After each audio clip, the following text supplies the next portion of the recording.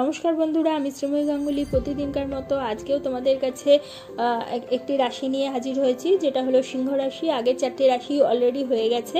আজকে আমি তোমাদেরকে পঞ্চম রাশি, কালপুরুষের রাশিচক্রে সিংহ রাশি, সেটা নিয়ে যতটা সম্ভব বলার চেষ্টা করব। এবং আগামী এগুলো শেষ হয়ে গেলে প্রত্যেকটা রাশি, আগামী ভিডিওগুলোতে আমি প্রত্যেকটা রাশি নিয়ে আরও ডিটেলসে আলোচনা করব। তোমরা অবশ্যই আমার চ্যানেলটা লক্ষ্য রেখো এবং যারা এখনও পর্যন্ত সাবস্ক্রাইব করনি তারা অবশ্যই সাবস্ক্রাইব করো এবং পাশে থাকা বেল আইকনটি প্রেস করতে ভুলো না।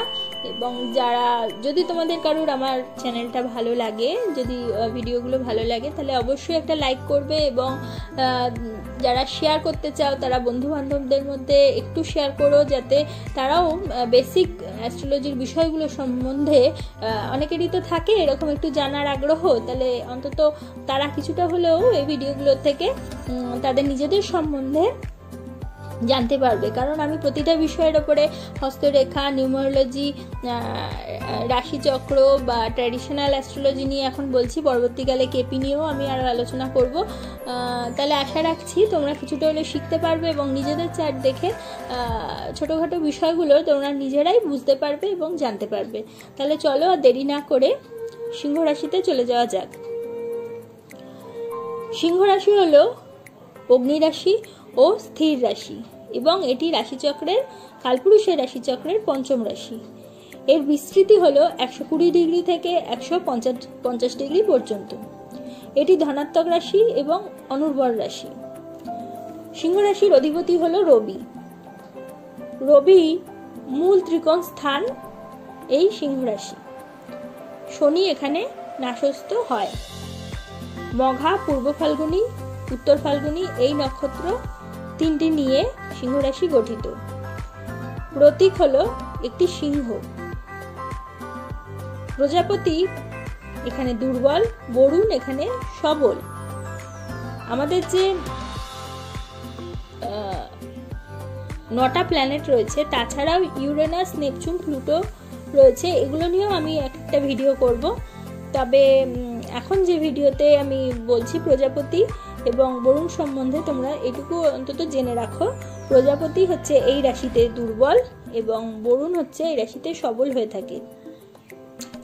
আচ্ছা চন্দ্র, মঙ্গল এবং বৃহস্পতির মিত্রকক্ষ, শনি, শুক্র এবং বুধের শত্রুকক্ষ হিসেবে ধরা হয় এই সিংহ রাশি এরপরে চলে আসি দৈহিক গঠন।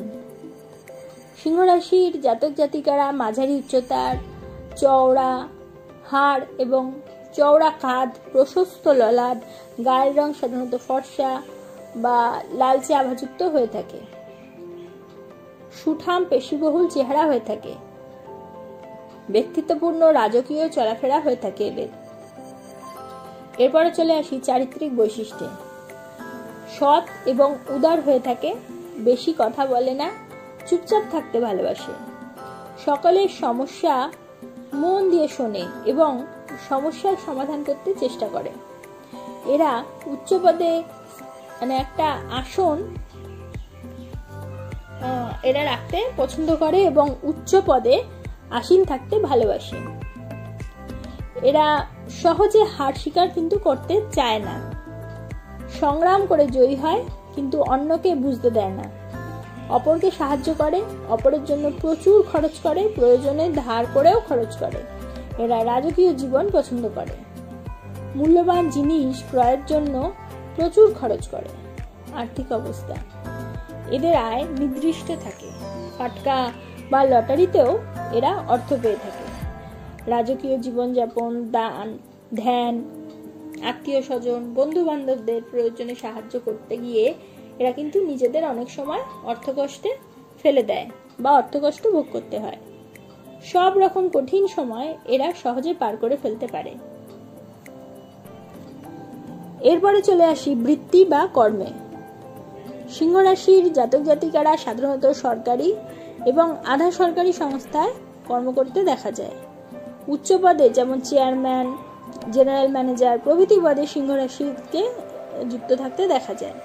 নিজস্ব পেশা ডাক্তার কনসালটেন্ট হিসেবে এরা কিন্তু অনেক সাফল্য অর্জন করে থাকে। স্বাস্থ্য ও রোগ বিষয়ে এবার আসা যাক। সিংহ জাতকের স্বাস্থ্য খুব ভালো হয়। এরা অসুস্থ হওয়ায় অসুস্থ হওয়ার আগে বুঝতে পারে এবং খুব তাড়াতাড়ি আরোগ্য লাভ করে থাকে। রাশিচক্রের পঞ্চম রাশি হওয়ায় নির্দেশ করে শরীরের কাঠামো, মেরুদণ্ড এবং স্নায়ুমণ্ডল। সিংহ জাতকেরা সাধারণত হৃদরোগ, মেরুদণ্ডের মজ্জা এবং হাড় সংক্রান্ত রোগে ভোগে। এরপরে আসি বিবাহ বা প্রেমের ক্ষেত্রে। সিংহ জাতক প্রকৃত প্রেমী হয়ে থাকে। এদের প্রেম একনিষ্ঠ, নিবিড় ও উচ্ছ্বাসহীন হয়। এদের বিবাহ বা বিবাহিত জীবন সাধারণত সুখের মোটামুটি বলা যায়। এরপরে চলে আসি সিংহ রাশির শুভ দিনে। রবি, বুধ এবং মঙ্গল শুভ দিন। শুক্রবার মোটামুটি সোম ও শনি অশুভ ধরা হয়। এই বারগুলো। শুভ বর্ণের মধ্যে রয়েছে কমলা, লাল বা সবুজ, নীল বা সাদা বর্জনীয়। শুভ রত্নের মধ্যে চুনি ও পান্না। এবং শুভ সংখ্যা হলো এক, চার, পাঁচ, ছয় এবং নয়। তাহলে আজকে এইটুকুই বললাম সিংহ রাশির সম্বন্ধে। এই ভিডিওটা পুরো তোমরা দেখো এবং এর পরবর্তী পার্টে আমি বলব সিংহ রাশির ডিটেলস প্রত্যেকটা রাশি নিয়েই আমি ডিটেলসে বলব। আর বেশি বাড়াবো না, ভিডিওটা তোমরা সকলে ভালো থেকো এবং সকলকে ভালো রেখো এবং সুস্থ থেকো। পরবর্তী ভিডিওতে আমি কন্যা রাশি নিয়ে তোমাদের কাছে হাজির হব। ততক্ষণের জন্য কিন্তু নমস্কার।